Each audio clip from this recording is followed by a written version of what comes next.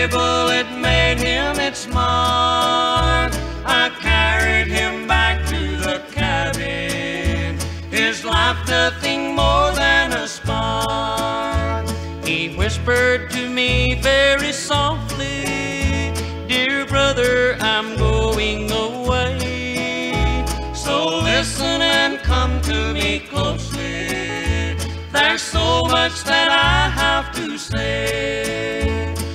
Sweetheart, her dear name is Sally. Her mother and father have died. She's waiting alone in the valley. When I left her, oh, how she cried. I promised to bring her my fortune, return to the valley and wait.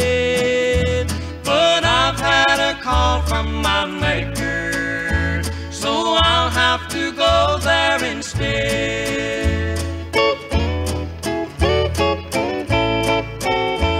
He gave me the ring he had bought her and told of the plans they had made.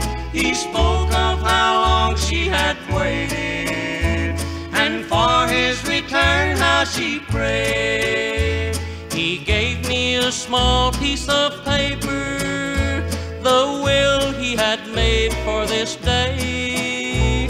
I promised to do as he wanted.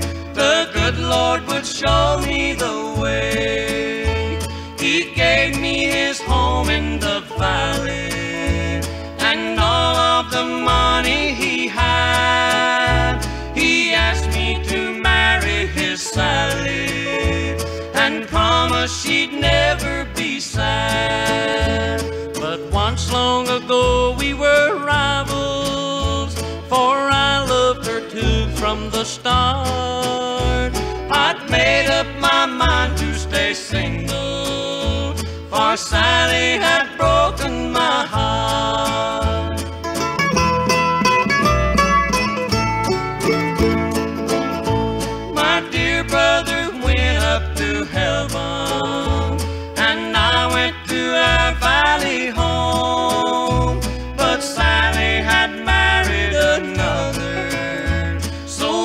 left for me but to roam?